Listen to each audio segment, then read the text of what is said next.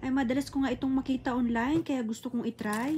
Tamang-tama, may nakita kami sa World Market, kaya kumuha na rin ako para matikman ko rin kung ano talagang lasa ng maitim na itlog na ito.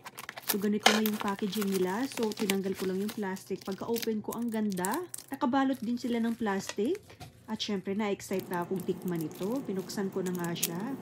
Century egg ang tawag dito, kaya siya tinawag na century egg kasi nga it takes time and months para lang maging ganyan kakulay yung itlog.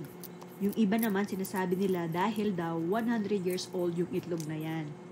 Naku po, yung itlog na nabili ko na yan ay hindi po. Talaga pong months lang po talaga ang tinagal niyan.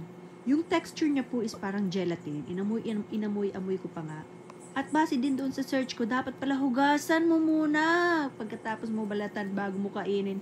Kaya pala may naamoy ka kasi hindi mo hinugasan. Patay gutom ka talaga.